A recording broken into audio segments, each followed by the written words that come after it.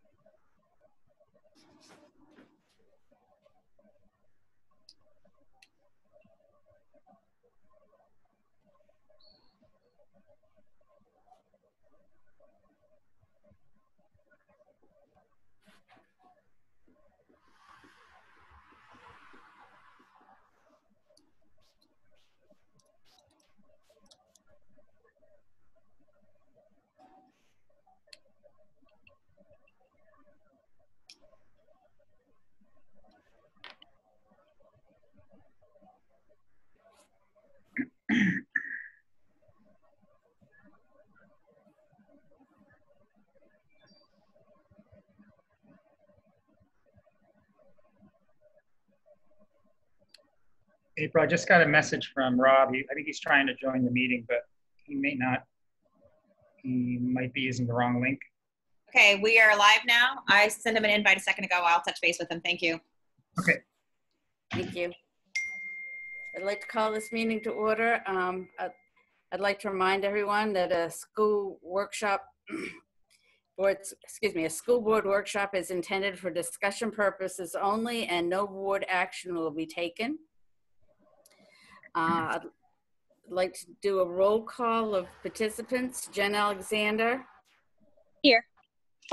Abigail Miller. Here. Rob Hudson. We'll come back to him. Paul Marcosian. Here. Okay, thank you.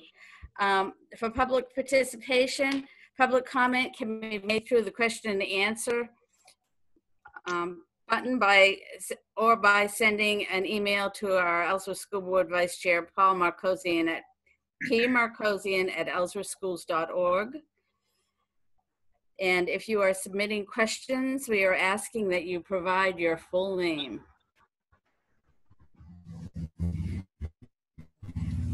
Item A on the agenda is the discussion of a request to paint the crosswalks at EMS and EHS.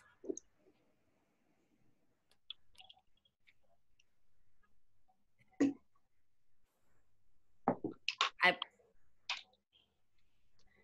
I believe I need a uh, motion. Uh, Mrs. Thomas, may I make a recommendation? I know we Yep. have some panelists here tonight, um, and I think it might be uh, beneficial to the board and to the members of the public um, if Mrs. Cutney, um, who is the uh, advisor of the GSDA group, if she'd like to take a couple of minutes and speak on behalf of the request that's before the board for the board to discuss this evening, if Mrs. Cutney's prepared to do that. Okay, thank you. Ms. I certainly am. Thank you very much. Um, so I'm the advisor to the GSDA at the Ellsworth High School, which is the Gender Sexuality Diversity Alliance. And we continued to have Wednesday after school meetings via Zoom during the quarantine. And during the month of May, the students were talking about what they could do during Pride Month, which is June, um, to show their pride and to do something bright and cheerful during the dregs of the quarantine, really. Nobody was having a good time. And they came up with the idea of painting some crosswalks around town um, and at the schools in particular um, to show their pride and to celebrate diversity and really to do sort of an anti bullying effort. We see this project as twofold. The first part of it is a celebration of pride. Um, diversity and not merely tolerance of the LGBTQ community, but appreciation and value and you know welcome members of our community. The second part really is the anti-bullying effort. Um, if you look at the Maine integrated youth health survey and i'm going to post the statistics i will not bore you with each and every one um, but i will post that um, in the facebook comments if, so people can look at it. Um, if you look at things like violence bullying harassment feeling safe at school um, suicidal ideation, lots of horrible things um, tend to affect the LGBTQ community the most in our school system. Um, the one statistic that I will give you is that 63% of LGBTQ students, high school students in the state of Maine as of 2019, felt that 63% of the adults in their community did not support them did not welcome them and that they did not matter to their communities. As a teacher, as a parent, as a community member in Ellsworth, I feel that we would be negligent to not take action. Recently, Ellsworth has come up with the Rachel's Challenge and the Kindness Begins with Me, and I think they're fantastic programs, and I think that is a fantastic slogan.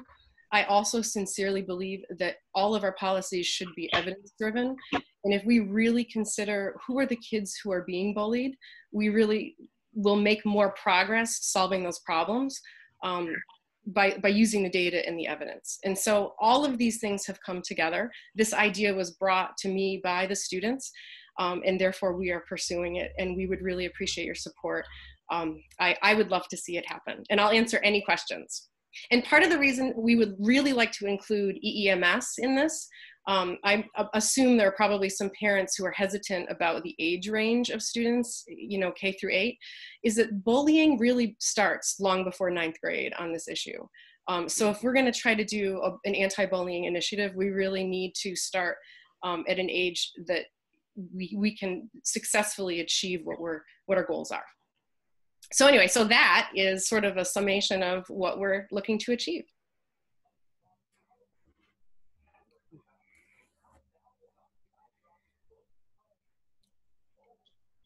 Any questions from board members? I fully support this idea. I feel like this is a long time coming. We um, we need to make extra effort to have these students feel included and protected and part of our fabric of our society and not as outliers. And I feel like this is a great way to show that we care about them as much as we care about anybody. The suicide rate between transgendered teens is 70%. 70. They don't grow up hating themselves. They learn to hate themselves through society not being there for them, for continually letting them down and continually telling them that they're bad people. I feel like this is a big start in changing that, improving that.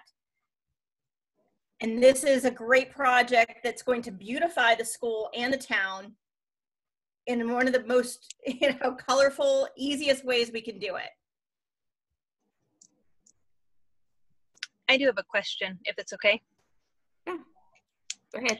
Um, Carrie, I know um, you had mentioned or that there were other um, cities around the state that have done this. Mm-hmm. Um, can I ask if those were done just in and amongst the city or if they were done on school property?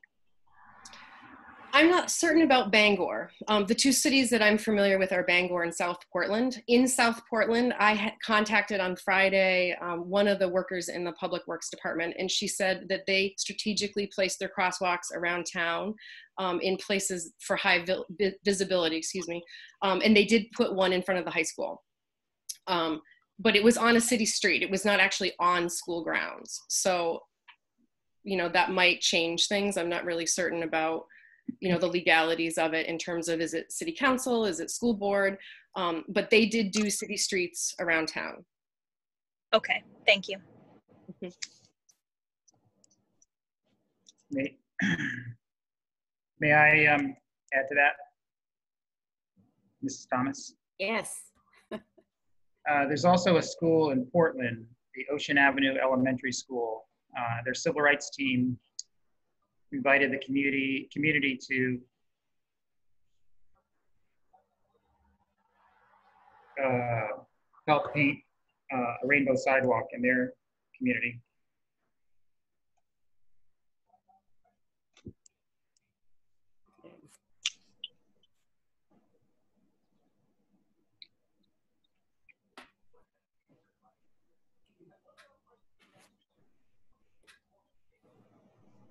I also support this idea.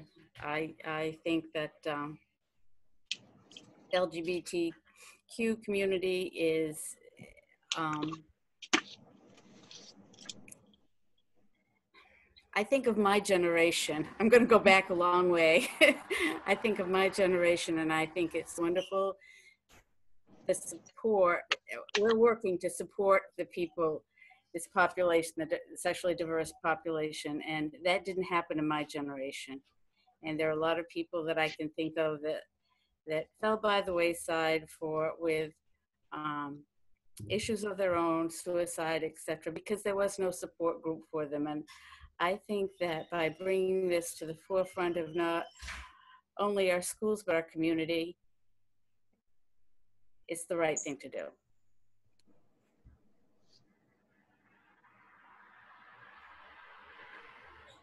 I'm wondering if we can hear from uh, some of the students who are here tonight.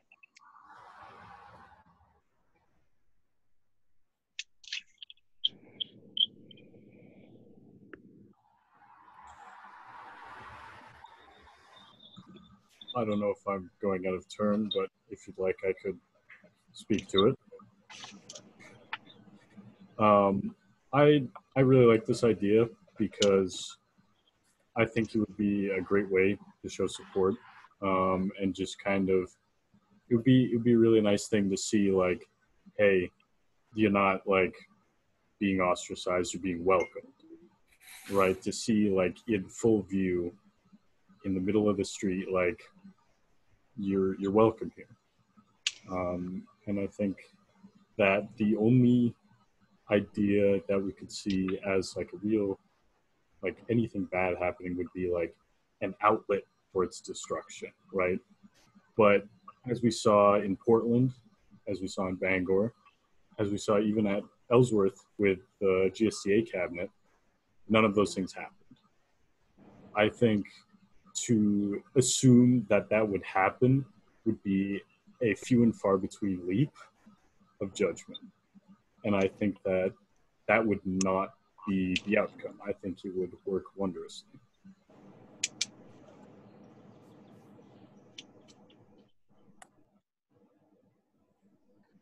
Um, sorry, can I say something? Yes, you Um, uh, so I'm the former president of the GSDA um, for I think two years, and then before that I was the vice president. So I've always been really involved in the GSDA and supporting uh, the community at Ellsworth High School. Um, I just graduated, so I won't really be doing that, but I'm trying to do it from afar now. Um, so I think this project is really important because um, a lot of students feel that although the adults never really like condemn, like say like, oh, uh, you shouldn't be LGBTQ, like they never really support it either. And so just seeing something in the street that really explicitly says like, we support you, we value you as people and members of our community is really important and it's just something that you it's hard to imagine you know when it's never you've never really seen something like that but when you see it and you fills you with joy. And um yeah not it's not even just a statement of um acceptance and celebration but it is beautifying our school. It is um making you know a crosswalk that was used to be white a welcoming you know you have to drive over that street to enter the high school. It's a really welcoming thing to see when you drive in, especially for prospective students. Um, I know like coming in from eighth grade into freshman year, it's really intimidating. The high school is really big. Um, and so seeing something like that, if you are in that part of like a minority like that, it's just a wonderful feeling. It's a really nice saying, I'm accepted here, I'm welcome here, and I'm celebrated here. So Thank you. Thank you.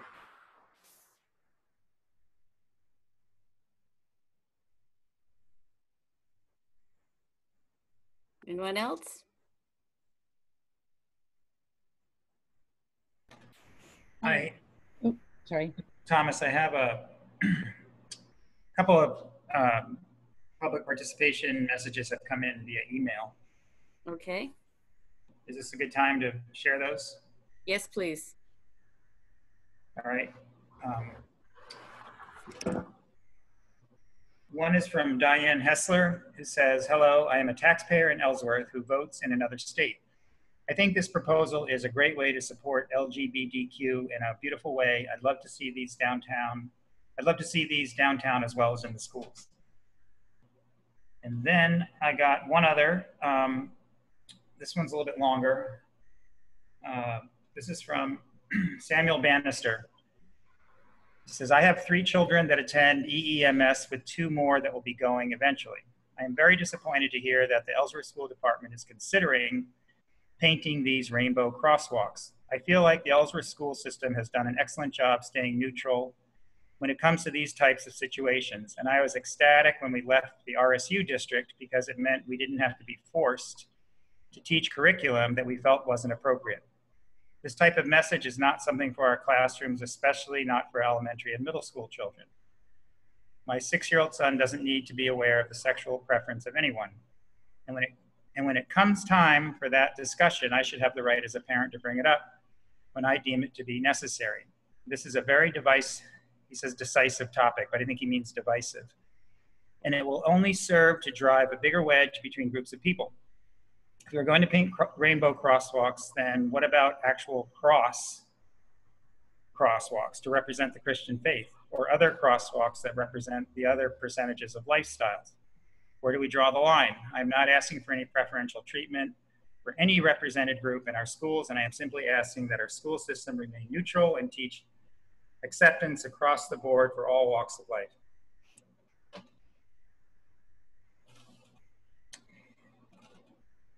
And I'm wondering if um, any of the panelists who are here tonight to advocate for this have a response. I'd be happy to respond to that. I think our, you know, our schools celebrate a lot of different holidays and there's there's really no oppression of especially of Judeo-Christian religions in our area. There's no history of that. Um, it's not invisible. It's something that's very visible. We have a lot of churches right on the main street with a lot of uh, messages on their billboards, and I think that's wonderful. And if they wanted to paint something in an area, if they wanted to to do something like that, um, you know, you can't mix church and state because there's that wall. But this isn't a religious issue. This is just a, an issue of support. And when we have kids that are literally attempting suicide at three and four times the rates of um, non-LGBTQ youth, depending on you know if they're gay, gay, lesbian, and bisexual. It's three times, and, and transgender children are I think four times, or I might be confusing the two, but it's three and four times the rates. I mean that's that's terrifying. We're not we're not even talking about suicidal ideation. We're talking about suicide attempts. We need to provide this support. We need to provide this uh, you know, this is the least, just a step in the right direction. It's not, certainly not the be all and end all, but we need to show that all of our children's lives are important and that we care about them and that we love them. And I don't think that you would have to address sexuality with a six year old that sees rainbow colored crosswalks. You could just walk across the crosswalk and say, oh, look at the pretty colors. If you're not comfortable addressing that with a six year old, I don't think you would have to at that point. That's a conversation for later. If you're so inclined to have that later. Um, my kids grew up knowing people who were married in, in same-sex relationships, but they didn't. We didn't discuss sex with them. They, we just discussed that, you know, Elizabeth and Edith are married. That's all they knew, and it, it didn't. I don't think they thought about anybody's sex life until they were teenagers or whatever. Whenever kids normally think about that. Um, I'd like to add something as well. Um, since I'm thinking a lot about curriculum, um, I've been talking with Tara um, from Healthy Acadia and with um, Carrie, and we have been discussing starting a civil rights team at the middle school. Um, Maggie Curtis is a teacher at the school that wants to be involved with this as well. and the nice thing about a civil rights team at the middle level is that we're talking about the diversity of all of us. And those are about the freedom that all of us have to be ourselves. And so it's not focused on a particular way of life, but it's talking about how people are different and celebrating that and, and being unique. Um, so I think that that's um, a way of starting those conversations at emotionally and developmentally appropriate times in the lens of civil rights. And so this is one aspect of that of talking about a way in which some people are different than others. And there's so many other aspects. We've heard so many other ways in which we want to discuss that and have kids learn about people who are different from them. Um, we want people to not just be tolerant but to be accepting. And so i think that the expansion of our programs and our plans to do that is really important. I mean, I'm thinking in the elementary schools about expanding our libraries and making sure that kids uh, who are different in so many different ways get to see themselves in children's books. And so, I mean, there's so many ways that we can celebrate diversity and uniqueness in kids. And I think this is just one way to do this for a group of kids who are feeling that they're not um, able to be unique and, and celebrated. So I, I would agree about the idea that the painting in itself is something that little kids enjoy. They love bright colors. And um, I, I think that this will fit in to uh, ways in which we are working with our curriculum to celebrate diversity throughout um, our school district in the future. You will be seeing more and hearing more about a civil rights team developing. So I am excited about that.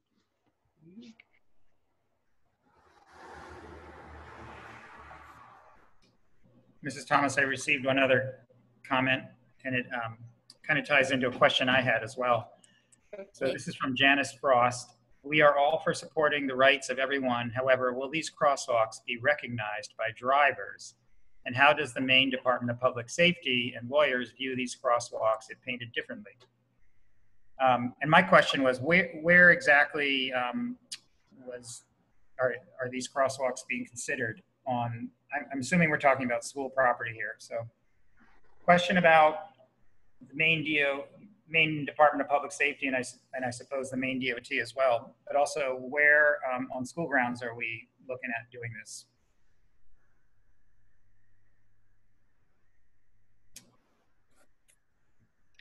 I think um, we're open to discussion about that in terms of where the best place for that to be would be. Um, when we first started this, we were actually thinking about the actual crosswalks because that is what the the other towns have done.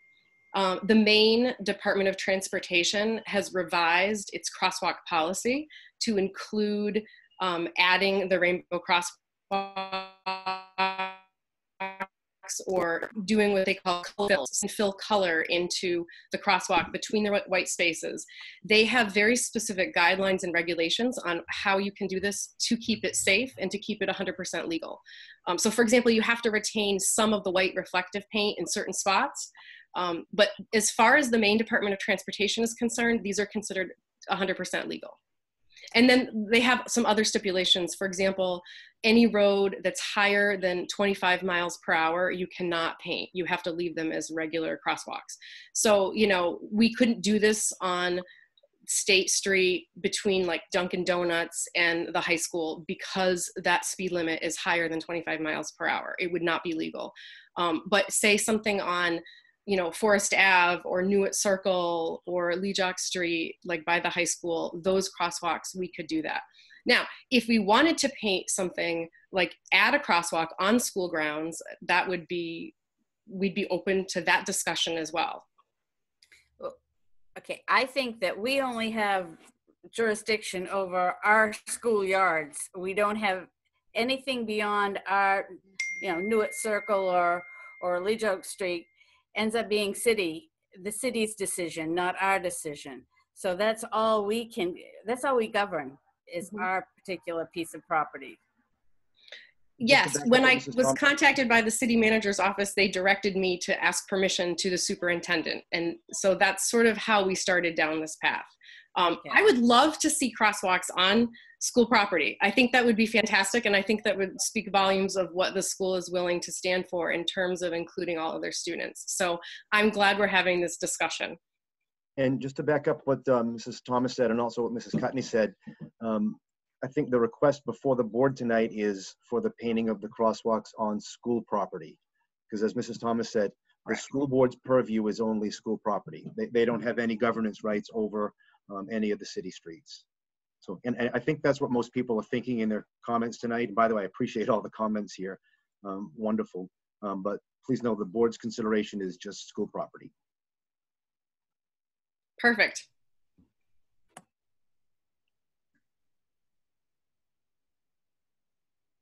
Paul, there are a like- couple of comments in the Q and A here. Did you see those? Yeah, I think he's, I think he's already given those. Sure. Mrs. Miller?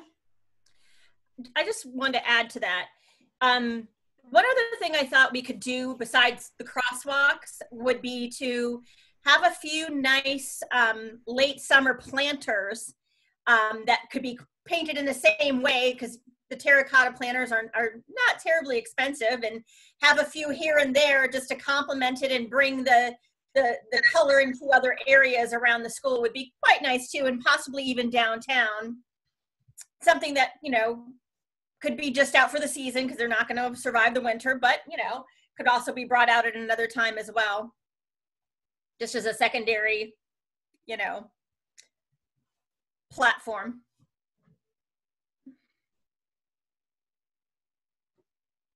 Again, all that has to go through the city council.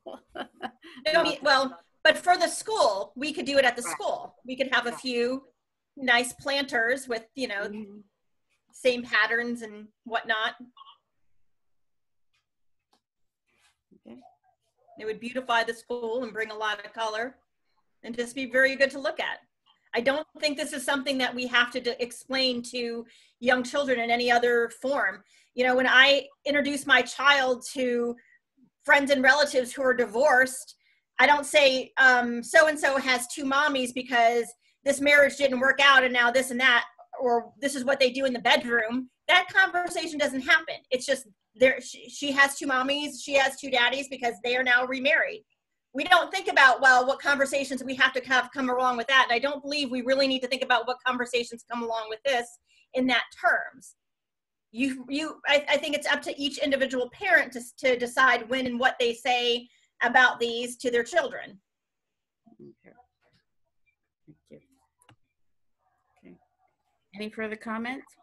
Um, Mrs. Thomas, there's two comments in the uh, Yes. Q&A. Uh, Chris Popper says that um, Bangor's sidewalk is down by the bridge where Charlie Howard was thrown into the Penobscot River.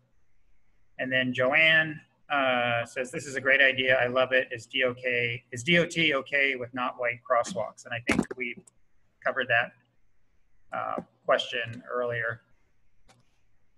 So that's all I've got. Oh, I, do, I have a question though um, myself. Um, how this is uh, to paint crosswalks is going to require um, a little bit of expense because we have to.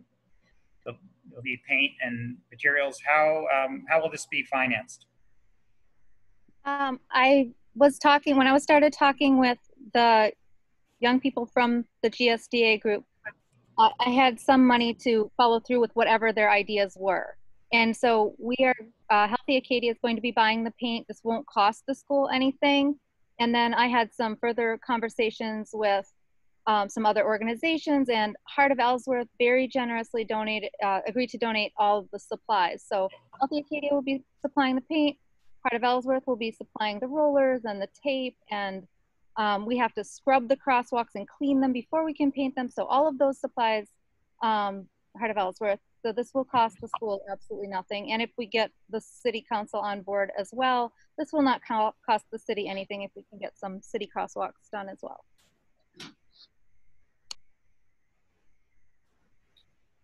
Good evening, everyone. Sorry for starting late. Uh, I was on the wrong link for the meeting. Had several that went out today, and I picked the wrong one. Um, my question would be um, to the students that are that are on this on this meeting. Um, let's just say that you could. There was a way that, say, starting from sixth graders up to seniors in high school, if you could actually take a vote on this, what do you think the outcome would be from the student body?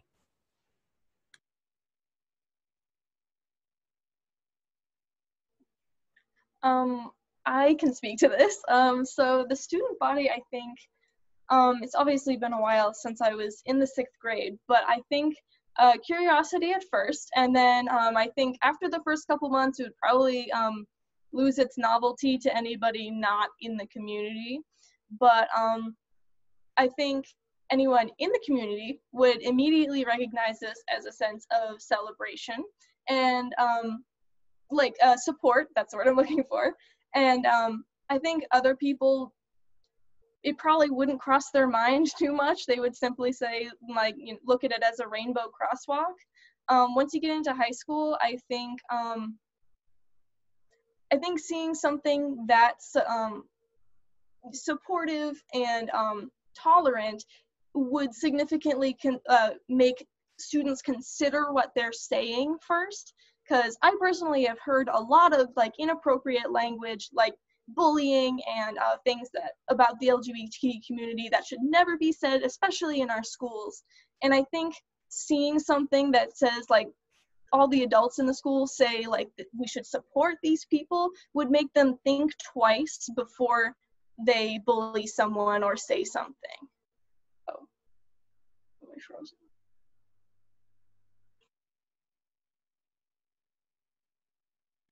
Thank you. If I could, I would like to just add about about this group overall. Um, you know, they do. There's a lot of terrific kids in this group, and uh, they're um, always coming up with ideas to improve our school. And they usually have two or three good projects, projects that are well-meaning and uh, make an impact to our school each year.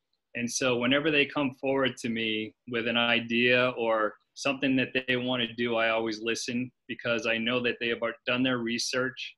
Um, I know that they're well intended, and um, I know that overall it's a, it's a really high functioning group, um, and they take a lot of pride in their work, and um, it it's always well thought out. And you know, when I saw this idea from Mrs. Cutney, you know, immediately I I was proud of them because they want to reach out to the community, not just the school community, but the overall Ellsworth community. Um, you know, and I think that's special because it it is a special group of kids. You know, it really is, and and um, it's it's one of our our better groups in our school. I think we have a lot of them, um, but just they're always well intended, and um, they just want what's best for the school and what's best for the community. I would just like to add um, that this group found a problem, they found a solution. They procured a grant for funding. They contacted elected officials, government officials. Um, I couldn't be more proud of them as a group of students, and I, I, feel like they've done all the things that we want our teenagers to do to be engaged citizens in their community. And I'm, I'm very pleased about that, and I'm very proud of you guys. So, thank you. Anyone else? I just want to remind you that we don't vote at a workshop meeting. We'll be voting um, on this at our August meeting, August 11th. Um, and we want to thank you all for your comments and for answering our questions and for keeping us informed. Um, quite impressed. Thank you. May, may I add, Mrs. Thomas, that I'm um, appreciate all the um, everyone who contributed to the discussion tonight, and I'm especially appreciative and um, have admiration for the students who came forward to this meeting and presented their views. Um, very well said and uh, very persuasive. So thank you for that. Also, thank you, Mrs. Cutney, and thank you, Ms. Young, for um, for coming along as well, and, and everyone else, again, who participated. So I'm feeling supportive of this um, project. I also echo Mr. Markosian's comments. I truly appreciate our staff members and our students and our graduate for coming in and speaking very eloquently this evening. Uh, truly appreciate um, all that you do uh, and know that you you guys are very much supported. So thank you for being here this evening. Thank you for having us.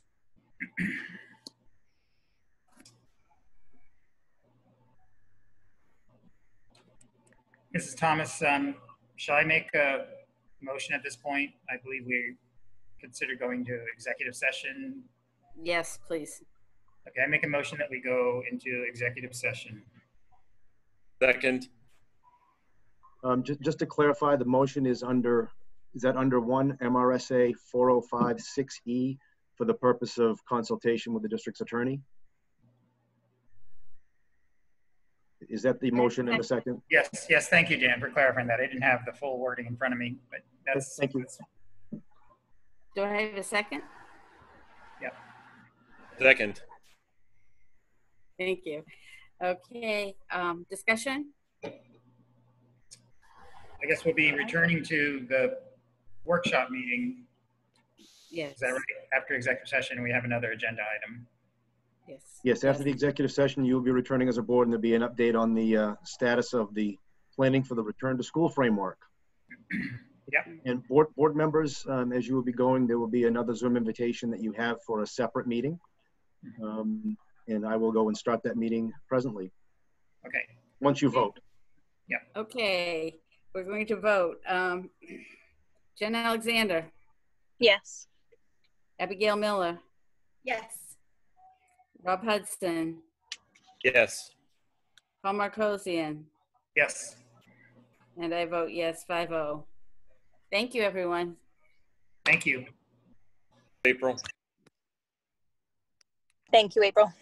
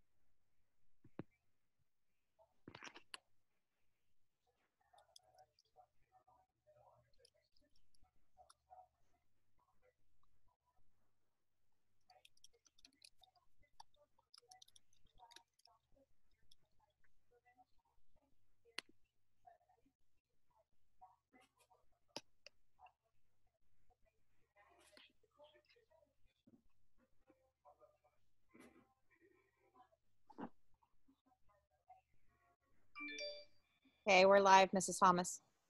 Thank you. Okay. Item B on our agenda. Update and discussion of fall 2020 return to the school framework.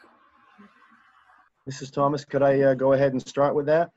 Sure. I would like to thank everybody who's still here with us and uh, held on uh, after the board completed its executive session. But um, even with regard to the lateness of the hour, I'd like to just run through uh, some updates for the board and our uh, public. Um, Even though we'll talk about the survey a little bit later in my, my brief remarks, I just want to thank everybody who was able to fill out the survey that was distributed last week. Um, And just as a reminder, the responses that you provided are not binding. You know, we did send out a second reminder that tried to clarify that. Even though they're not binding, however, they're important to moving forward the planning process. And we're going to talk about how we're going to move forward to get, excuse me, information from people that um, were not able to fill out the survey.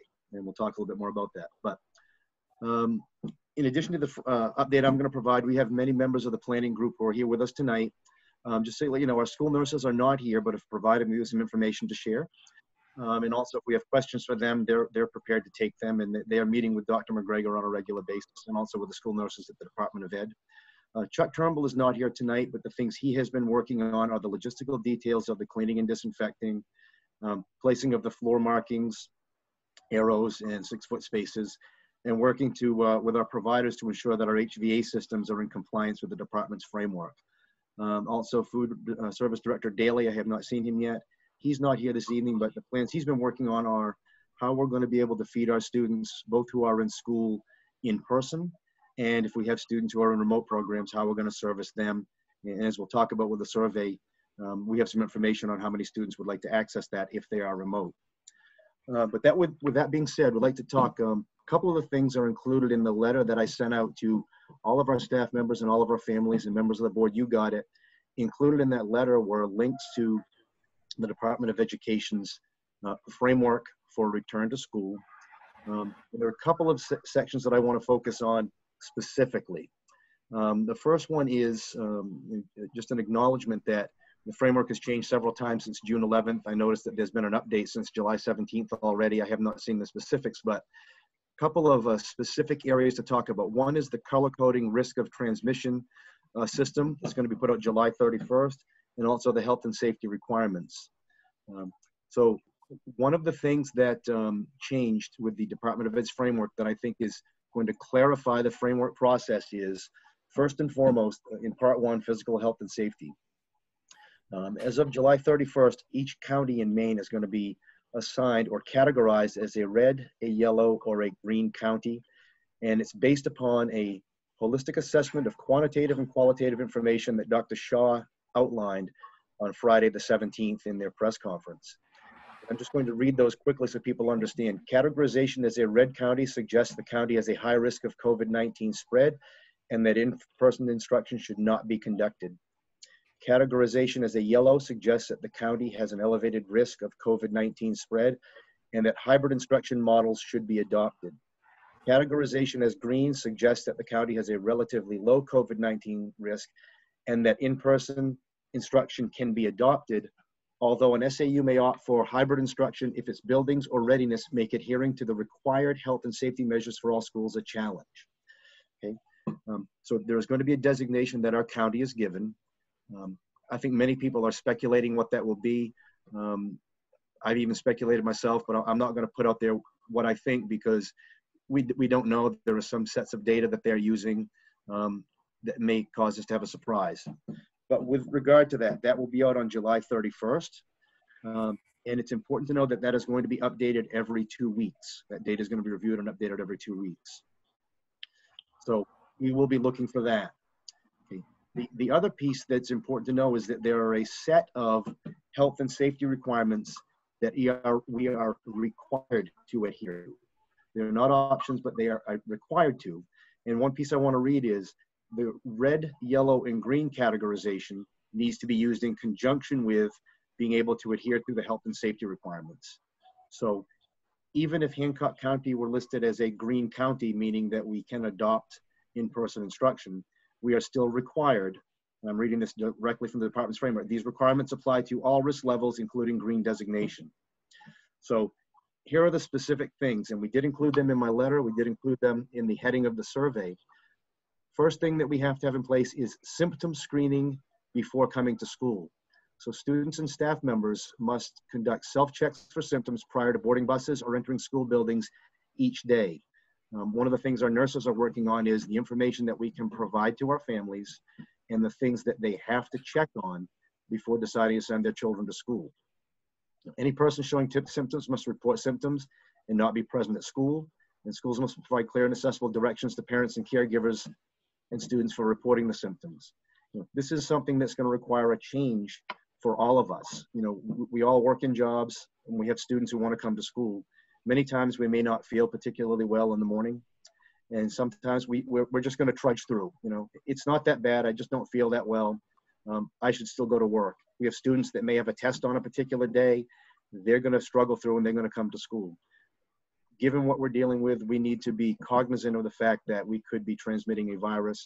So we need to do a screening check before coming to school. Again, school nurses are working on that. Physical distancing and facilities.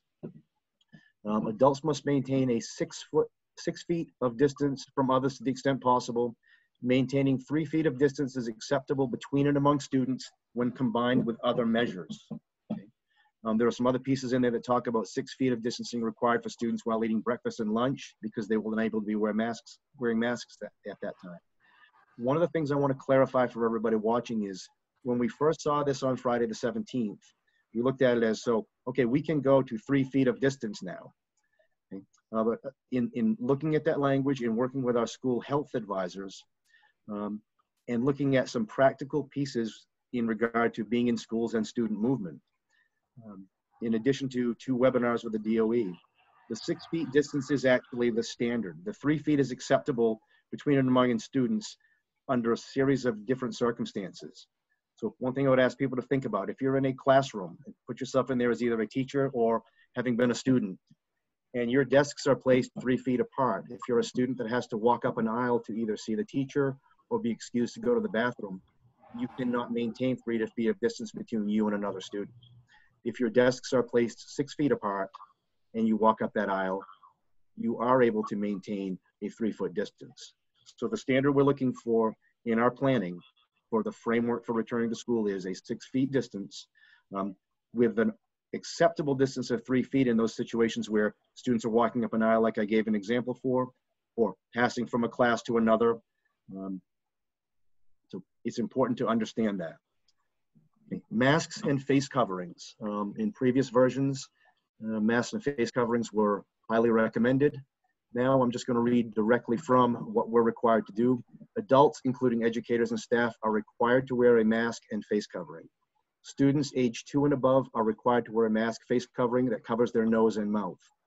Masks and face coverings must be worn by all students on the bus. Um, questions that I got from a couple of parents. What about my student has a medical issue that may prevent them from wearing a mask? Face shields may be an alternative for those students with medical, behavioral, or other challenges who are unable to wear masks or face coverings, and that also applies to staff. So I want to make clear to everyone, masks are a requirement. They're not a suggestion, they are a requirement for all students and staff. Um, another set of requirements is hand hygiene, which is something that um, we've been focusing on since COVID became uh, evident on the horizon back in February and March. All students and staff in school must receive training in proper hand hygiene. Uh, we have videos for that. That's something the school nurses are working on. All students and staff must wash hands or use sanitizing gel upon entering the school, before and after eating, before and after donning or removing a face mask, after using the restroom, before and after use of playgrounds and shared equipment, and upon entering and exiting a school bus. Okay? Personal protective equipment. Um, additional safety precautions are required for school nurses and or any staff supporting students in close proximity when distance is not possible or when students require physical assistance. These precautions must at a minimum include eye protection, face shield or goggles, mask, face covering. Uh, we also have gowns uh, that will be coming. Classrooms and or areas that have been used by an individual diagnosed with COVID-19 must be closed off until thorough cleaning and sanitization takes place. Okay. Final piece on those uh, six items is return to school after illness. Six staff members and students must use home isolation until they meet the criteria for returning to school. And again, I sent links out there, but Th those, those pieces, folks, are requirements. They are not options.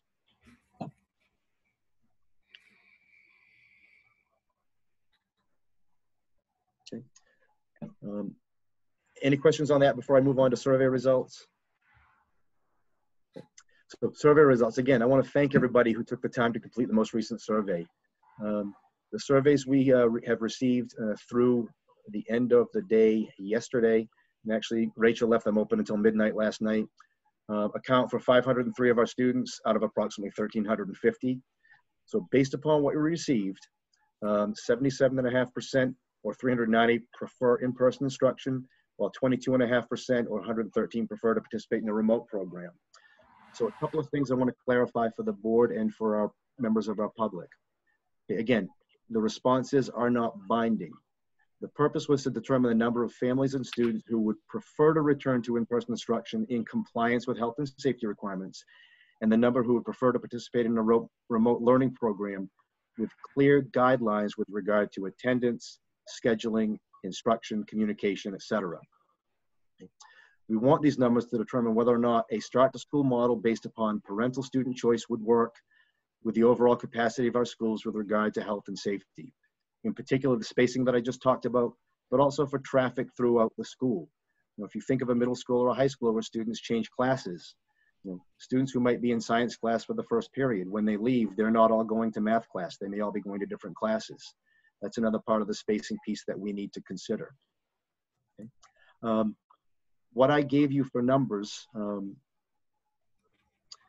what I gave you for numbers are the overall um, numbers. Rachel has uh, spent most of her day today, and Rachel, thank you very much for doing this, um, breaking down those numbers by grade level, and I believe she shared that with board members uh, in a spreadsheet um, maybe an hour or so ago. I think it was about the time that she was able to get all of that in there. And as you can see, it varies by grade level um, what the percentages of students who would like to be in an in-person program or would like to be in a remote program. Um, Additionally, and we're still working on getting these disaggregated, although I think, well, Rachel, you may have these in a spreadsheet. We want to have information on the number of students who would prefer to, who are preferring to return to school, who would use school transportation so that it would help Mr. Saunders in planning and scheduling bus routes. Uh, and also students who prefer a remote learning program who would still like to access our food service program so Mr. Daly can have that information to plan meals not only in school, but how we can get meals to students who are in a remote program. Okay. Now, while the number of responses we received does provide a solid baseline, second thing that Rachel was working on today, and again, Rachel, thank you very much for doing this, um, is taking the data and providing it to our building administrators so that they can start reaching out to phone by families who did not respond. So if you were not able to complete the survey and you get a call from the school over the next day or two, please answer the call because we're going to be asking you those same questions. We want to get as much information as possible. Okay. Um, and again, this was to help us determine whether or not a choice model, which would be a combination of in-person and remote learning, um, would be possible. Um, I'll touch on this a little bit more in a minute, but a choice model to me removes more challenges than a model by which we have alternating schedules. Um, so we'll touch on that in just a minute. Um, in addition to the student numbers that we've been calculate, uh, collecting and uh, looking at, we're also working with our staff members to determine a couple of things. One, we know we're going to have staff who either have um, health or medical situations that prevent them from coming back to school or other reasons for being in a high risk category, but would be able to teach in a remote capacity. We're also working to determine how many of our staff members, regardless of their ability to return, might be willing to work in a remote capacity if the numbers bear out. So there's still some moving pieces there. So again, uh, folks, if you haven't completed a survey and you get a call from the school, uh, we ask that you please answer it. Um, also with regard to the Department of Ed framework requirements, um, we've talked in previous meetings about looking at, in essence, three models, but uh, with the hybrid model looking at a couple of them, one based on choice and one based on an alternating schedule. The DOE framework says that we need to plan three. One is in person, the second one is hybrid, and the third one is all remote. So at this point in time, the in-person piece with all students and staff returning to the building, uh, based upon the numbers we received and the capacities that we have in our schools, we will not be able to have in-person instruction for all students in our schools and still meet the health and safety guidelines. When we're looking at the spacing in our rooms with six foot spacing between desks and also looking at tables that are six feet long and you can place students at either end of them, tables that are five feet long, you can put a piece of plexiglass in. Um, we could safely accommodate between 65 and 70% of the students enrolled in our schools. So Ellsworth High School, we're looking at between 490 and 500 students. It means we could safely accommodate uh, maybe 70% of that. So take 500, 70%, 340 to 350 students. The breakdowns would be similar at K through 4 and 5 through 8. With regard to HCTC, um, we're looking at different classroom structures and different class sizes, uh, but we're looking at probably a similar percentage. Um, we have received information from the Ellsworth High School students who um, attend HCTC, and I think we're still waiting to get some information on students from other schools who are attending and what their preference would be. So if we're not having in-person instruction for every student, um, by default, we're looking at a hybrid model. And just so that people understand, a hybrid model is a combination of students receiving in-person instruction consistent with health and safety guidelines and remote instruction with clearly defined expectations that I talked about a few minutes ago. So with regard to hybrid, the survey was based upon hybrid based on family choice. In order for this to work, again, we need to have at least 30% of the families and students select a remote program. Right now, the overall numbers do not show that we can do that, um, but we still want to gather the numbers um, so that we can determine if we can do that across the system or potentially we may have some grade levels, and as you look at the numbers that Rachel provided, we have some grade levels that are pretty close to a 30% uh, selection of a remote program. Um, if we are not able to do a choice piece, um, we'll be looking at an alternative schedule, and this is something that our building administrators in the planning group are working on, and this is the instruction assessment group. Um, an alternating schedule model, which again would have a combination of in-person and remote instruction, but be based on a specific schedule that alternates. Um, and again, uh, some specific questions that may come up on that, I can let our uh, administrators or planning uh, group members talk a little bit about what they're looking at at their grade spans. The other, uh, other model that we have to look at, and the one that we all hope does not come to pass again, is full remote instruction. Um, plain and simple, what we're looking at with full remote instruction is if we have to be in that situation again, is that we have clearly defined expectations for attendance, communication, instruction, and scheduling, so that the things that worked well last spring continue to work well, and the things that did not work so well um, are uh, corrected. Now, for the hybrid and remote model, um, one of the major questions that comes up is what would we do with our children if we have to work? I continue to be in discussions with YMCA Director Peter Farragut regarding uh, expanded options for childcare during the school day, which would hopefully accommodate families who have challenges in finding daycare, but also possibly include space for those who might be engaged in remote learning. So an example may be if we could find space so that students whose families participate in remote learning could be in the same location, spaced properly, and receive that and also have daycare at the same time. Um, the other piece, and, and, this is something that's new on the horizon, when we sent the survey out, um, we did get a few questions saying, I need more information to answer this. The people that reached out directly to me, I had some excellent conversations with, and they have subsequently completed the survey. But with a couple of those families, um, I received the question that said, a group of parents have that I know have been talking about working together to provide space for students to participate in remote learning with adult supervision. So it may be four or five families working together where they take their children, they get a remote program. Now, some of them may be high school students, some of them may be elementary, but they can be in a space with adult supervision, which addresses a daycare piece. Um, so that, that is another possibility that um, was brought forth by parents. I, I really like that model. I, I, think it requires some logistical planning, but one of the reasons I like it is it's emblematic of the spirit of cooperation and collaboration that we have seen um, since COVID came about and our schools closed. Um, so th those are the pieces that we're looking at right now. Um, and we can come back to questions here in a couple of minutes. Another piece that I want uh, uh, board members to know, um, a proposed calendar change for the school year for next year. Um, have provided this to our uh, uh, Teachers Association president so that the Teachers Association could weigh in on it. Um, but what we're talking about is, as a means of providing our staff additional time to put plans in place for the start of the school year. Proposal that's going to come to the board is for a change in the start date for students from September 1st to September 8th. Okay? This would not be extending the school year on the other end. It would simply be taking, as we did at the end of the 2019-20 school year, the first five student days and making them staff days so that staff members can finalize putting into place all the pieces that will be necessary to start the school year in a smooth and successful fashion. RSU 24 and RSU 25 have already made this change in their calendars. School Union 93, which encompasses schools on the Blue Hill Peninsula, already had that schedule in place. Um, oftentimes their schedule, um, they have to work around the Blue Hill Fair. It's also my understanding that School Union 96, which is Deer Stonington, AOS 91, which includes Mount Desert Island, and Beech Hill will also be making a change in their calendars. So certainly as we have tuition students that we share, we also have HCTC. Um, th this is an option that will afford our staff adequate time to make final preparations.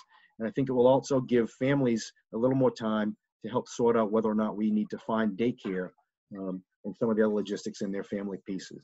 So this is something we'll be bringing forward to the uh, board at its August meeting, but I wanted to put it on everyone's radar this evening. Um, so I, I think it's, it's an appropriate and positive change for all involved, and it will be consistent with what's happening across the county. Um, a couple of other pieces that are related to funding, but not necessarily with the uh, planning group. One is funding. Uh, I think it's important for our community members to hear this. In addition to the planning that the school board did uh, through budget season in preparation for any additional or unexpected expenses, and you know we talked a little bit about how we can use our fund balance and reserve accounts to hold in uh, reserve funding to support unanticipated expenses. Um, in addition to that, and in addition to the $214,000 in CARES Act funds to support the reopening of schools, last Friday, on the 17th, Governor Mills allocated $165 million from the Coronavirus Relief Fund, CRF funds, to public schools. Ellsworth School Department share of this is $1.257 million, okay, uh, which is going to be very helpful. We can use those funds for any unplanned needs emerging from COVID-19 Okay, and these could be emergency pieces or pieces helping us to prepare for the start of school. And we can backdate those to March 16th when the school's closed.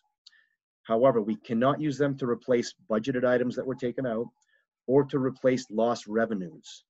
Um, the things that we're looking at to use this money for, one, to provide additional staff training that we haven't been able to uh, identify and plan for already um, to prepare our facilities for the restart of the school year in all aspects, to continue to purchase PPE, and I'll talk about that in just a minute, to purchase cleaning and disinfecting supplies and equipment, and to address IT needs in the event of the need for remote instruction. You know, our IT department did a lot of great work last spring, has learned from the things that we had as challenges, um, but there will still be additional needs. Uh, so that, that, that is a very positive sign. One of the challenges is the $214,000 in CARES Act funding. We have until September of 2022 to expend. The 1.257 million we have until December 30th of this year to expend. So um, I, I, met with um, curriculum director uh, Corman Ramos and our business manager Carolyn Heller earlier today uh, to start putting the application together for those funds. Um, but again, it's a, it's a very welcome welcomed uh, piece of news that will help us get our schools uh, prepared. Um, PPE, personal protective equipment. Um, in addition to some purchases that we've already made, you know, I purchased through a Southern Maine Educational Collaborative a supply of uh, face shields, masks, and clear face masks. Also, a group that um, board member Abby Miller uh, works with uh, is going to be uh, producing a thousand masks for us. We're also going to be receiving um, supplies of KN95 and N95 masks, disposable gowns, three-ply gloves, dispose, excuse me, gloves, three-ply disposable masks, face shields, cloth face masks, clear face masks for students and staff who need to be able to see um, each other's mouths, um, FEMA masks which are usable, hand sanitizer, sanitizing wipes, and face mask straps. The supply that we're receiving through the Department of Ed um, that the department has allocated funding to cover is supposed to last us through a formula they used based upon our student counts and staff counts in the Department of Ed's NEO system, supposed to last us through December. Um, I know there is in the works the potential of another federal package that would provide money to schools that would hopefully supplement that. Um, there's also still money in the CRF funds that the, the governor allocated 165 million to schools uh, that may be able to come back to schools. Um, but we also have uh, the funding to continue to purchase what we need. So I, I think we're well set up in the area of personal protective equipment. So uh, again, we're working on with a goal of presenting a plan for the restart of school at a workshop next Monday evening. You know, we targeted the 1st of August, and we are keenly aware of the need for parents and community members to have this information to facilitate their planning for their families. But while we're keenly aware of that, we also appreciate the board's and everybody's understanding of the many complex variables, changing guidance and requirements as we complete this framework process. Um, you know, it, it's a really complex task, and in, in conversations I've had with families and conversations I've had with um, our staff members and conversations with uh, community members, neighbors, um, when we start talking about one or two pieces of information, questions on those things come about and become questions for the planning group to consider. Um, again, we, we intend to present next week, but please know whatever we present next week will continue to be subject to change uh, based upon changes in data, the changes in the color-coded risk designation that come out every two weeks, or guidance or requirements that are posted by the Department of Ed. Um, we do have some members of our planning group here this evening if there are some questions, and I suspect there will be some. Um, but before we turn to them, I can just would like to provide a couple of things that um, Jackie Sandone and Chris Reinig, our nurses, provided. Um, in addition to the work they're doing with the school nurses group statewide and also Dr. McGregor, they are working on a letter to remind parents to call their child's PCP to review the vaccine record. And again, under current law, the expectation is that students need to stay current with the required immunizations for school entry. And my understanding is that's even if we go remote. Um, they have been talking about um, promoting people getting a flu shot, but again, that's not something the school can require. Um, they're also focusing attention on another requirement that we have, which is to have an isolation room in each of our schools. We need to have an isolation room um, that uh, allows us to deal with students who may be exhibiting symptoms of COVID, uh, a room for students who um, are coming in. Um, they may have bumped their knee and need a band-aid, um, or they need to take medication. Um, you know, you certainly want to keep those students separated. A triage space and satellite stations for minor first aid. That's another part of their efforts, and they're looking at that at HCTC, EEMS, and also our adult education program. And even though our adult education program is not housed in one of our schools, we have similar requirements that we have to have in place when our programs are housed in other facilities. Another thing that um, Chris and Jackie are looking at are ways to minimize student traffic throughout the building. I think this is easier at the elementary level than at the middle school and the high school level. You know, couple of examples. One would be um, a nurse that they talked about in one of the webinars talked about she is going to the student rather than having the student traverse through the school to come to the nurse. They're looking at how that may work. Another piece that we're looking at is student cohort groups. You know, it may be easier at some levels to have students move rather than, excuse me, have teachers move rather than students move. That's one person moving rather than others.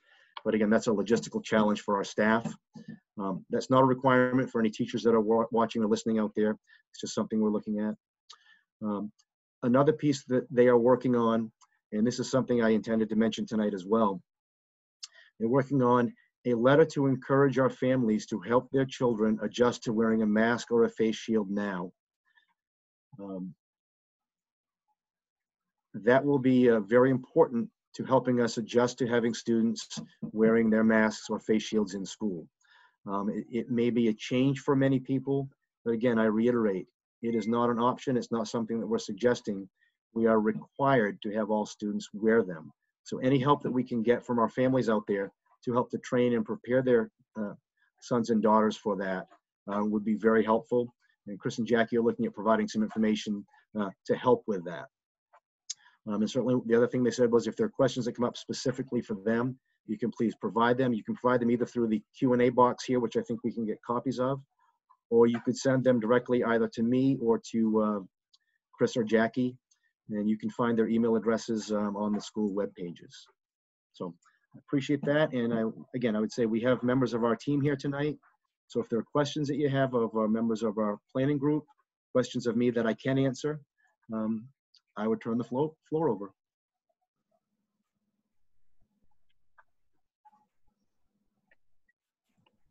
I have some questions. I was just trying to see if anybody else had unmuted. um, so I guess in seeing that we didn't have a huge response in surveys um, and and speaking to parents myself, um, there was some confusion there on whether that was um, going straight to uh, just choosing in person or the remote. And I guess it would be a good, probably a good um, bit of information if we could fill parents in on um, the fact that if we're going to be hybrid, which is what we're we're speaking of because of the social distancing requirements, what those days in school would look like for their children. So you've gone down through the recommendations or the requirements, excuse me, from the state. Um, have we come to a conclusion with the committee on the um, at-home self-check? Like, is that going to be um, something that's done prior to a child getting on the bus, or is that something that's going to be sent to the school? Is it going to be an app? Like, those are some of the questions that I've I've heard come up, or is are, are is that all going to be taken care of when the child comes to our front doors, which could lead to congestion? Um, Oh, I, I heard a couple of questions, Jen, but I, may, maybe you weren't finished. Go ahead. Where- no, where- where did you- um, if you want to start there, that's fine. Sure. I'll start with the pieces that I can answer.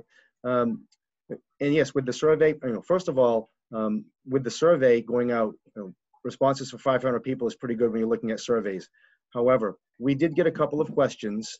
Uh, you know, within the first 24 hours, we had um, 175 surveys returned. So many people um, took the information in the letter and were able to answer that. For the people that contacted us, um, I know I reached out to the people that contacted me directly and answered the questions and assured them that it was not binding, uh, assured them that there were many questions that they would like to have answered that we don't have answers for yet, but that we needed the information to help us determine if a choice model would work.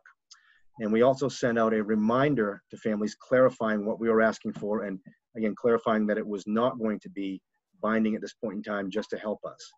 So to answer the question on a hybrid model that has choice, the intent behind that would be five days per week.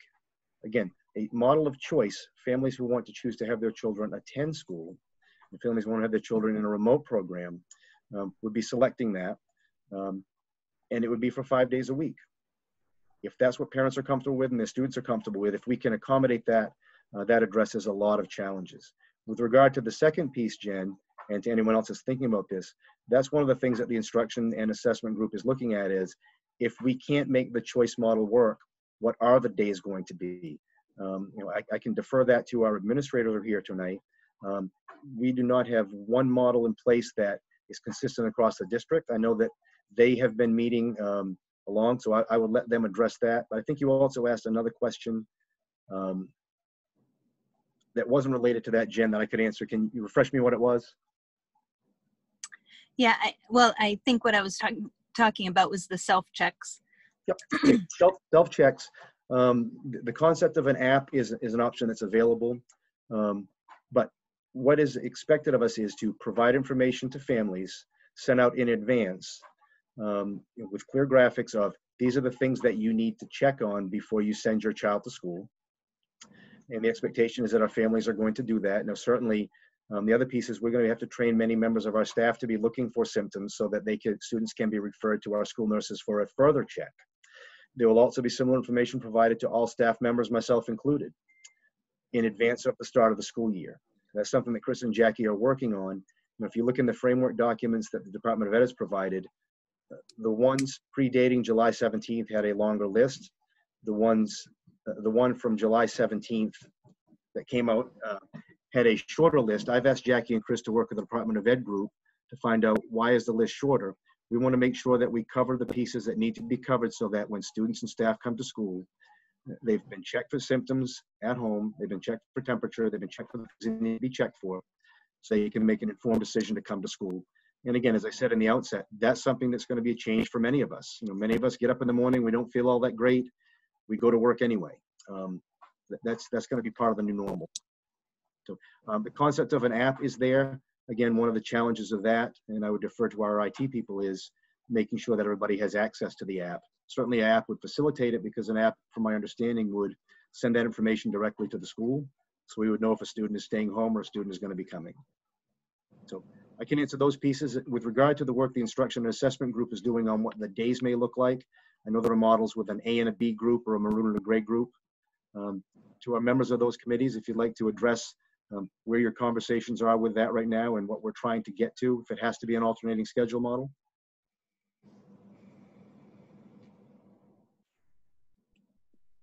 I can speak to that and uh, people can fill in uh, whenever they want to. Um, so the other hybrid piece that we were looking at is, um, you know, those stu- those uh, students and parents that want a fully remote learning experience, we would still honor that, and so that would be in place.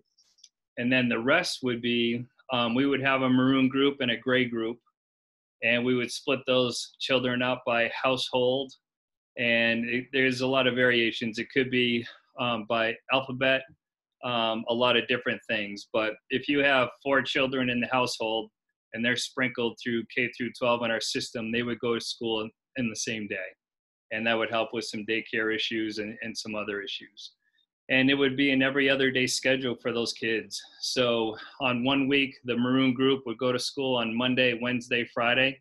The gray group would go on Tuesday and Thursday. And that would flip flop the next week. And so what would it would allow is we would have a little bit more control over how many kids are in each class, in each classroom. And um, what the off days could possibly look like is they may be able to chime into the classroom uh, via OWL cameras that we're looking at, or possibly just they're responsible for work that is continued. So if they go to school on Monday, teacher could give them um, homework or work that they need to do on Tuesday, it could be on their own. And then on Wednesday, um, they would have in person instruction again. And so it would kind of alleviate all the Zoom uh, meetings and, and things like that that were going on in the spring. And they would be in contact with a teacher every other day um, throughout throughout um, this experience. And so, you know, kind of in a nutshell, that's what it would look like. So the remote parents would still be taken care of. They still have that choice. And students that come to school or choose are choosing to come to school, they would be in a maroon group or a gray group, uh, K through 12, and um, it would be a regular, a regular schedule for them um, while they're there.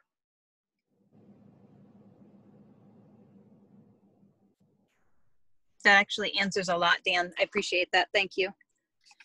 Um, in addition, with some feedback we've gotten from parents via email, we also are considering um, possibly breaking up the cohorts, not, not additionally by household, but also by geographic location. When Mr. Higgins talked earlier about that community supporting each other, that's one of the suggestions that we had um, from parents. And also, we are also looking at, I know that Mr. Clifford said every other day scheduling. We've had some feedback from parents where they were interested in having a consistent days versus having an every other day schedule with concerns to daycare. So we are also still discussing that. Um, but initially, our model did include an every other day piece. Thank you. I think the the other concern that we want to address is when we had when we originally um, had the surveys back in June, we had a lot of parents say, um, you know, I was working and trying to facilitate learning during remote learning for my child, and so when we are taking into account the alternating days or the the set days um, where there are some point your child will be remote, we're talking probably more about remote learning versus remote instruction so that the learning can happen um, on times that accommodate families uh, rather than having to log in specific times necessarily. Um, so we are discussing that option as well to help um, because we did get a lot of that feedback as well. So we're really trying to be thoughtful in how we address some of these concerns or issues that we've heard from families um, and taking into account all of those scenarios. I appreciate that, Erica, too, because I know um, I mentioned in the last meeting that one of our uh, larger numbers that came from the survey were how many um, parents and adults did not feel like they could adequately provide the adult assistance to their child during the remote um, learning in the spring. And I think that was a big concern of, of mine um, going forward for our parents is that if their children do need to be in a daycare setting, um, especially with the younger kids, that kind of synchronized learning that might work well for older students because they could be home alone and um, you know or or be in a setting where they could maybe have a little community group and where the younger children might have a little bit harder time with that. I know it's difficult to have a you know six or seven year old chiming in on their classroom and they've got to sit there all day um, so i didn't see that that would work real well, especially if we are talking about that age group that you know mom and dad are working and we do we do have to have them go to daycare. So the fact that maybe like you you said, you know, more of a, a remote learning, but not necessarily re- remote instruction would be, you know, super super way for parents to maybe still be involved, but not have to sit there all day and maybe have to be doing their own work. So thank you for that. Yeah, and I mean there are opportunities too. Like for example, just using the middle school schedule, there are opportunities during the day where those kids who are on their off day and not and during in-person instruction could have opportunities to check in with their teachers remotely via Zoom um, during like study hall times or RTI times. Um, should they have any questions about their remote learning? So it's not like we're just setting those kids off, sending those kids off to you know fend for themselves on those off days but we would have a plan in place to make sure that kids feel that they're supported during that time as well. Super thank you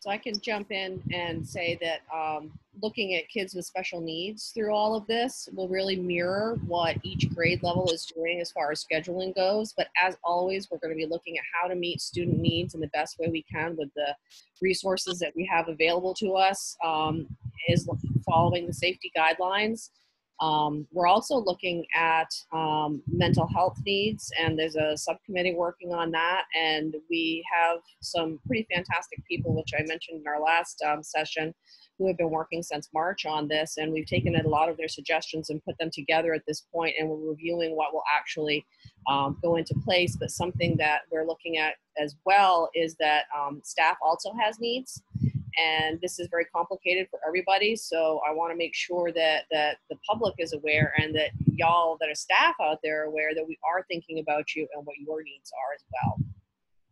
And as always, if anyone has questions as parents about a child with um, disabilities and special services or 504, please contact me directly. because I really want to talk about um, what things look like and help allay some of your concerns and collaborate with you. So, and I'll speak to HCTC. Um, I continue to meet with obviously our district leadership team about HCTC. Um, we have another weekly meeting Thursday with all the area high school principals uh, to kind of do another check in. We met last week and decided we needed to start meeting weekly. Um, I can tell you the other high school principals, no matter what is decided, are highly committed to making sure that their students that are going to attend HCTC will be scheduled in such a way that they can access their CTE programming. Um, we have a fantastic group of principals, and I really believe um, that I'll end up working with each high school uh, to possibly individually schedule each student so that we can make that happen uh, for the kids that want to continue coming to HCTC in the fall, whether it's in person or remote. Super.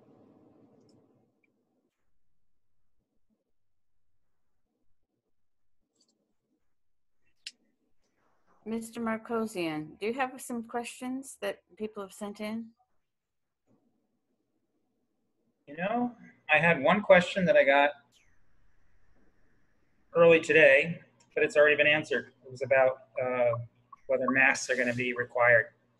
And I think Dan answered that quite clearly. That's the only thing I've gotten so far. There's some in the Q and A up top too. Right. Hey, whoops, I didn't see those. Th- th- thank you.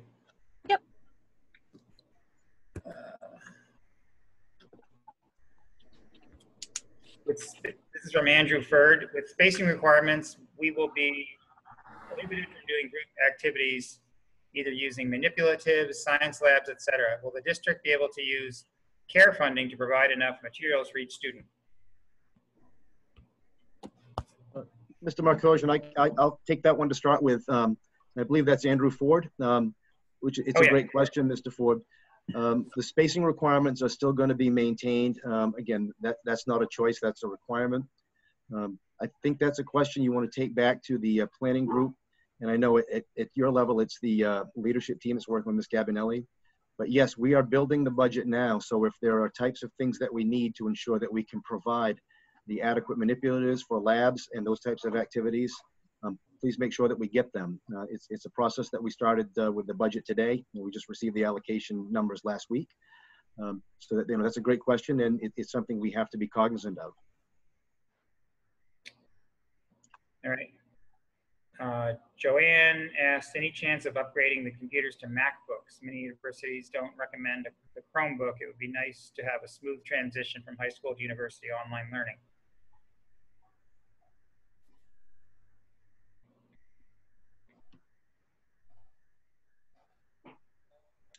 Mr. Higgins, do you want me to answer that or I do was, you want say, to I, was, I was looking for you on the screen, April. Yes. I um, saw you looking at looking for me.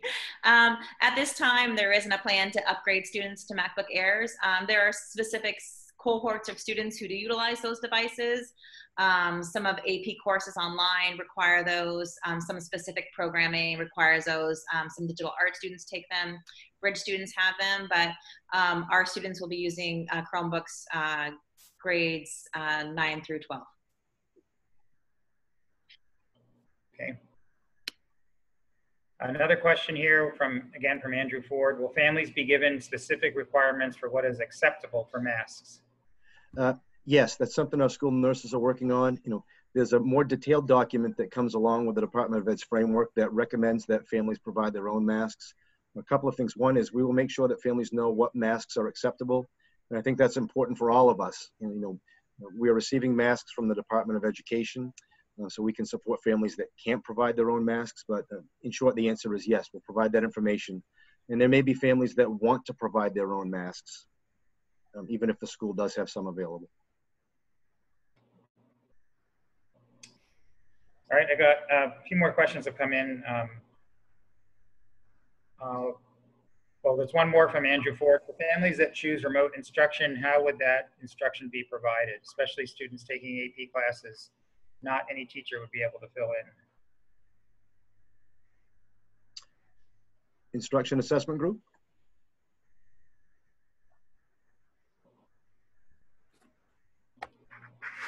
Well, I'll speak to the AP class. Um, we would have to get creative. Uh, you're right.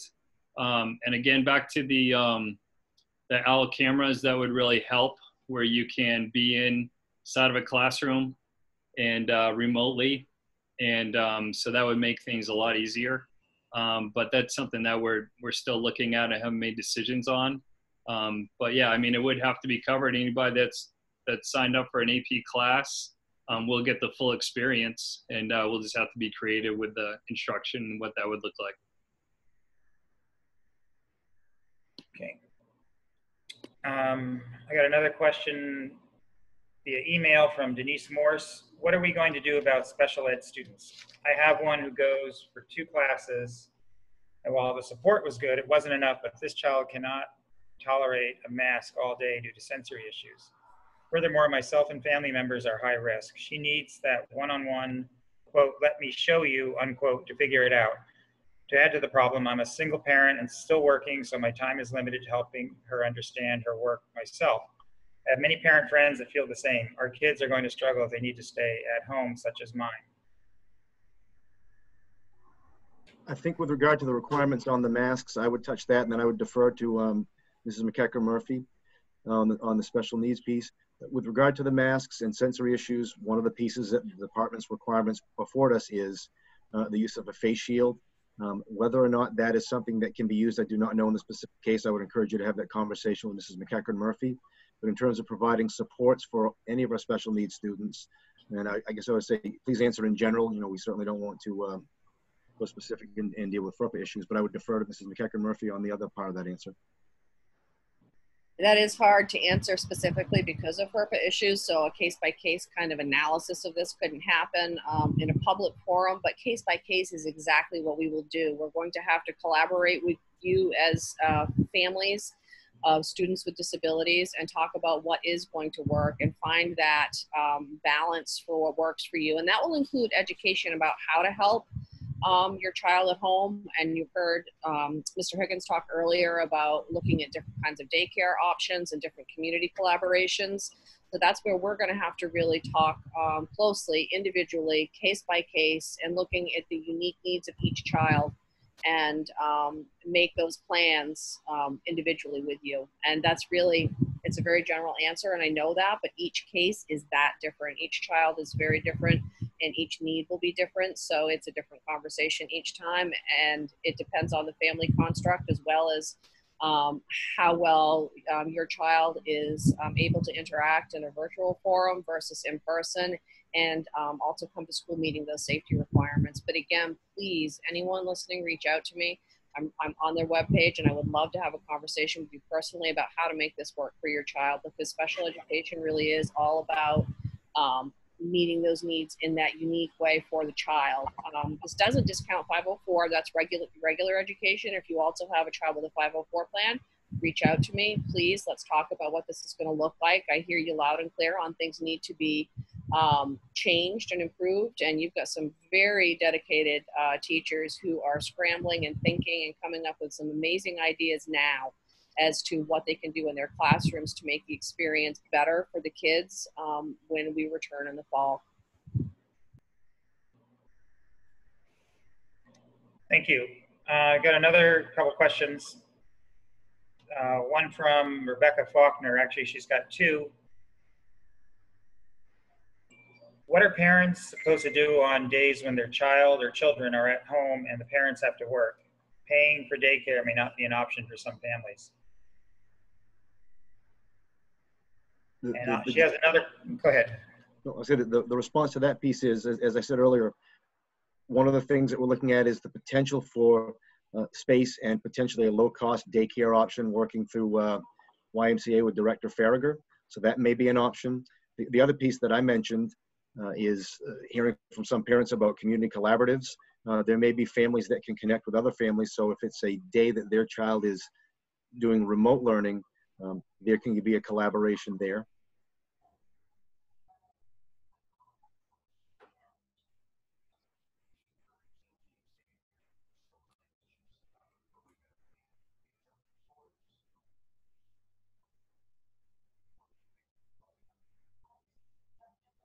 Paul, you're muted. Muted, Paul. Sorry. Uh, another question from Ms. Faulkner when Mr. Ford, Andrew Ford asked the same uh, question about teachers and staff who have children. Um, what are they supposed to do when their uh, child or children are going to be home on the days that the teacher has to work? And I think it, it's a reiteration of the, the previous answer to Mrs. Faulkner's question, but I think there's another piece, and, and this becomes an HR question.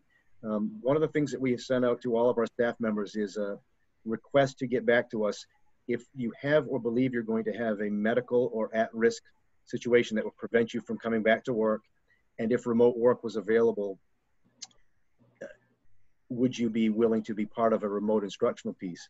Um, we have had some teachers reach out and say they have a situation like this, but they would be willing or able to do or be a remote teacher.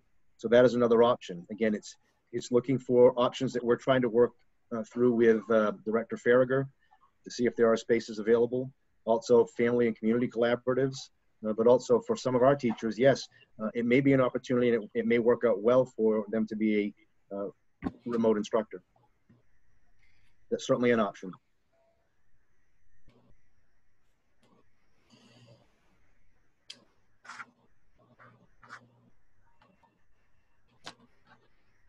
Paul doesn't have any more, I actually had another question. That's all I have uh, from the public. Okay. Um, what are the guidelines in regards to PE? That's one of the questions. And what activity would our children be getting during the day? Um, but I also have another question. I'm wondering if you can update, if there's been any update from the MPA um, on fall sports, but also in conjunction with that, um, how do extracurricular activities such as the arts, how, where do those fall and how do those begin in the fall? Um, I think I think you've talked about masks, Jen. You know, one of the pieces that I did not mention about masks is a requirement is that we provide students with mask breaks. So students who are in school, one of the places for a mask break is obviously when they're eating lunch. Um, the other piece that we need to do, and is, is to look at and uh, how students can take a mass break, preferably outside if the weather is good, so students can get out. That would provide a little bit of activity. We're still working on what a recess would look like, particularly at the elementary and middle level, because we're looking at what are the protocols that are going to be necessary to ensure that any playground equipment used can be cleaned and sanitized. Um, so we're looking at ways that we can provide physical activity for students. We know we need to do that incorporate that with mask breaks. So I think that that can answer one of the questions and things that we're looking at. Uh, extra co and extracurricular activities. I, I, think the, the philosophy, and I would welcome our instructional group um, principals to weigh in on this as well, um, is to continue to hold those activities uh, to the extent possible. And I know you heard Mrs. Cutney talk about earlier in, the, in tonight's meeting about how the group that she advises continue to meet through Zoom um, throughout uh, the school closure. We'd like to be able to have those activities continue, and we would still need to maintain proper spacing um, for those students. As far as the MPA, I know they've they've moved their fall sports season back. Uh, Mr. Clifford, I know you've been working more closely with Mr. Frost. I, I don't have the dates in front of me. Is, is that something you could be a little more specific on? Yeah, so they they did move the start of fall sports to uh, September 8th also. And um, they're still making decisions you know, by the week and, and pretty much daily as far as fall sports and um, what they're going to look like. But they, I know they have tossed around um, playing locally or regionalizing regionalizing um, schedules as as much as they can, and uh, no long distance games or anything like that. Um, playoffs are up in the air in every sport. I do know that. Um, so it'll it'll look different this year. Thank you.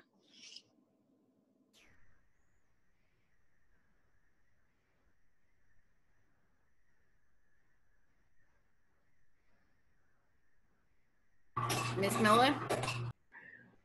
Um, just a quick update. Um, how are we doing with um, getting certain pieces of um, equipment like the foggers to um, sanitize the buses and any any word on any of the um, UVC lights and stuff like that? Uh, UVC lights, Chuck is uh, checking references uh, to see who else is using it. There are some concerns on, on health and safety that he and um, his assistant Josh have identified. Also, staff members have, but we're still looking at are there safe options that we can use. Uh, with regard to foggers, yes, what they've identified is um, what is a relatively low cost option. And I don't know the exact um, compound, Abbey, but it's a hospital grade material where it can be sprayed on um, using a, a, relatively small uh, backpack. Uh, in the time that it's used, it can be used on multiple surfaces where it will be sprayed on, it will disinfect and kill any virus and dry. Um, so there's, there's, some positive movement on that. And I can also say, and Mr. Saunders is here, he may want to, or may be able to add into this, but Mr. Turnbull, Mr. Saunders, Mr. Daly have been working together um, to order some of those supplies because some of those materials are things that they're all going to use in their specific departments. So I, I think Abby is to say it's, it's positive movement. Um, and uh, we're really encouraged, particularly with the, the, the misting um, apparatus that I just described. Donnie, is there anything that you could add to that? Uh, the compound that we use in the foggers is called vital oxide. Um, and in the guns that we've used, it electromagnetically attaches to all surfaces and it, uh, it kills on contact and it dries very, very quickly. Uh, so it's a spray and leave process. Um, when we got together and talked about it with the custodial staff, they had a, a lot less expensive option. Um, it was a container with a battery pack that pressurized the vital oxide and it came out through a nozzle. Um, and those were those were like $180 as opposed to like $800 for the guns. So it, it was a eye opener. But I think I think that product will work on just about everything, um, unless something can't take a mist, and in that case, the UV light would be an option. And, and maybe just to add to that, thank you, Donnie. Um, we're looking at it for, for all kinds of pieces, manipulatives, physical education equipment. You know, one of the questions that came up, we do have a number of chairs. Uh, we do have a number of chairs that are a, a, fabric. We're trying to determine if it will actually work on those or if we're going to need to take those chairs out of the mix. Uh, but that's that's uh, that's what those those gentlemen are working on. And you know, I've heard you say it before, Abby. They're doing a great job. They're uncovering all uh, all stones to find out what we need. So thank you for asking.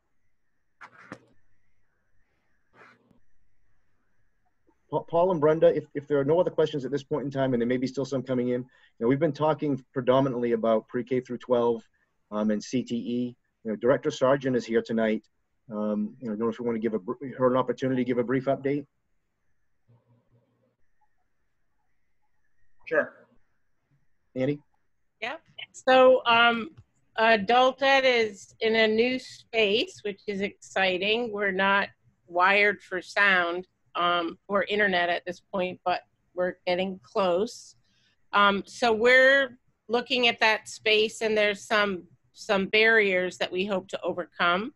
Uh, but our plan for a hybrid model would be to bring all of our incoming students in. We do an extensive intake and assessment process, and we'll add to that um, the sort of logistics and technology aspect of um, the ability to do remote learning and folks that can do that. And for some, what we learned last spring, it's a better option. Uh, we'll do that, and then we'll do face to face with folks that can't do that or because of their learning needs, um, it's not appropriate. So we're hoping that that will work. Um, our biggest challenge right now is that we're um, we have a storage room, a bathroom, a storage a a uh, utility closet, and the rest of it is 2,100 square feet of open space, which means that we don't have a place to um, isolate somebody with COVID. We just discovered that today. So, as with all of these situations, there's a lot of research and a lot of uh, we think we're all set and then there's an obstacle so uh, we're doing our best to do what we can to um, address all the uh, requirements. And uh, we are really, really excited to be able to be face to face with our students. I'd be happy to entertain any questions.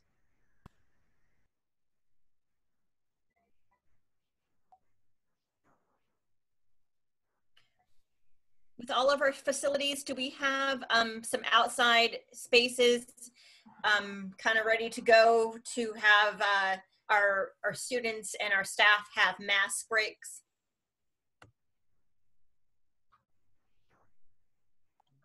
I'll defer to the principals on that.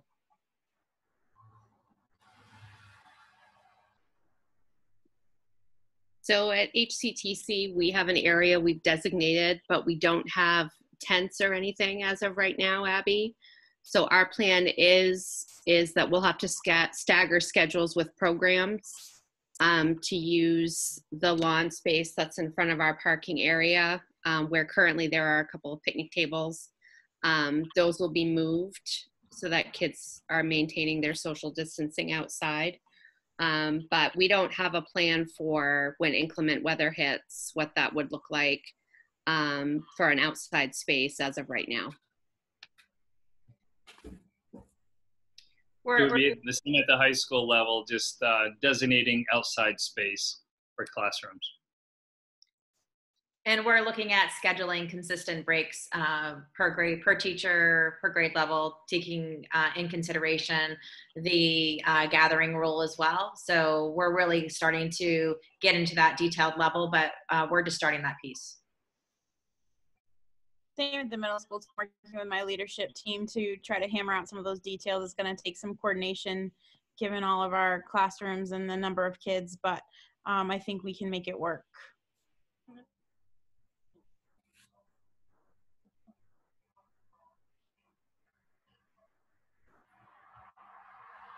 Thank you. Paul, do you have another question?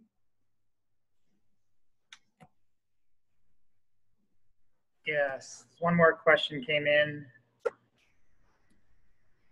Again, from Andrew Ford. Um, have there been any thought to staff or students with hearing impairments where wearing a mask would make hearing difficult? Will technology be provided for those with these issues? The general answer I will go to was uh, yes. Uh, with the requirements, once again, uh, masks are required.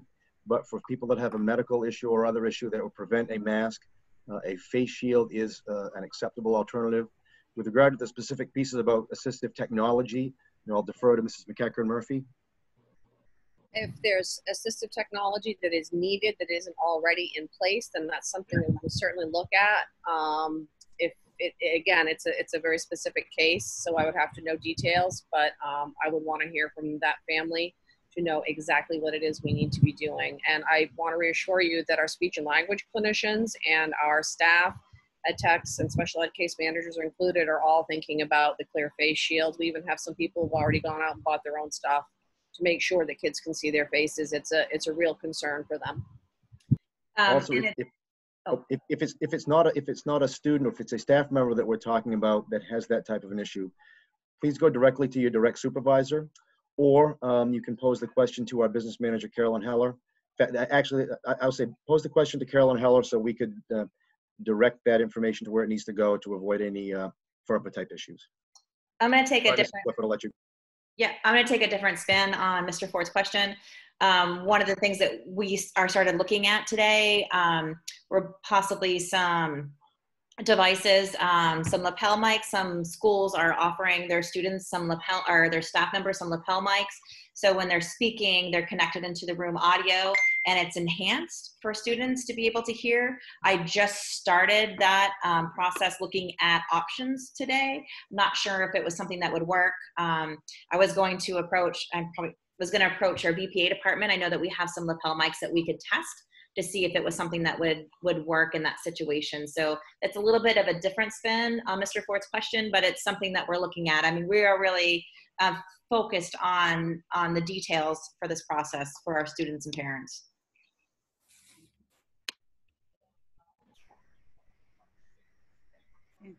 Dan, I have a question uh, for you. Have you heard anything, any talk, discussion from Department of Ed, the state, um, or the Maine CDC about whether pooled testing or rapid antigen testing will be something that may become available to our state. Both of those tests are designed to, or they have the ability to screen large, larger populations of people much less expensively and much more rapidly. They're not as accurate on an individual basis, but they're good at screening and figuring out if the virus is making, starting to make any inroads into a community. They're, they're most useful for communities that have low transmission rates like we do. But it's, it would be, a, it could, it could become a way of um, gaining assurance that we have zero, you know, very few or zero cases within, say, Hancock County, and that therefore we can relax, we might potentially be able to relax some of these restrictions and open more fully the way we were before this pandemic came, with the understanding that if the, virus started to become present here and make inroads, we would have to make adjustments. But um, I just was wondering if you've heard anything on the state level about about these types of tests. Short answer, Paul, is no, I have not. The most recent thing I heard on testing was what Dr. Shah released in the press conference last Friday, uh, which was people with symptoms can go through their PCP, get a test. Um, yeah. I am an advocate of, um, of a testing program. Uh, I am participating in a webinar tomorrow with other superintendents across the state uh, with Jackson Lab. Um, I don't know if this will provide any further information with regard to what you're asking for, Paul, but I know there's a there's a conversation on there with regard to testing. I, I don't know where it will lead. Uh, but short answer to your question is no, I've not received anything anything from the DOE. Um, okay, thanks. Dan, I had a question too. At at this time, does it appear that there would be a requirement for testing prior to school for staff and students? I, I have not heard of one, Jen, no. Okay. All right, thank you. I, I would say, I, I've not heard of it, but I know that there are some people who are advocating for it and would like to see it, but n- nothing official. Okay. Any further comments or questions? No. I've got none. Okay. Um, I don't believe I need to vote to adjourn. Because it's Mrs. Thomas, could I just make a couple of closing comments before you go? Yeah. Again, just want to thank everyone, uh, thank, thank all of our uh, planning group who's here tonight for all the great work they continue to do. Uh, And just want to reiterate to everyone out there, the, the focus that we have is how we can return students and staff to school safely. Again, I reiterate that, students and staff to school safely. We're following the guidelines, we're following the requirements, we're putting in place the pieces that are designed to do that. And uh, again, I just want to appreciate the work that our group is doing. And, uh, you know, our, our target once again is next Monday night to come forward and uh, have a plan that we can put forth. Um, I've said it all along, it's an ambitious timeline. We know families need the information, but we're going to come forth Monday night with, uh, with information on what it's going to look like. And if things change subsequent to that, we'll keep you updated. But thank you very much. And uh, thank you everyone for asking all the questions. Appreciate it. Thank you, everybody, for your efforts. Have a good evening, everyone. Or what's Good left of it. Good night. Good night.